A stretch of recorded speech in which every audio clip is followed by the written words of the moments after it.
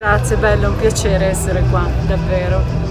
Cosa ti aspetti da questa serata, soprattutto dopo tanto tempo che non vi esibite in pubblico all'Arena? Eh, guarda, devo dire una bellissima emozione perché io l'ultima apparizione che ho fatto su un, pal- un signor palcoscenico è del 2020, quello di Sanremo, e quindi tornare dopo un anno e mezzo circa all'Arena meraviglia su un palco altrettanto importante quale Sanremo, quindi spero che sia proprio l'inizio no, di tanti palchi belli.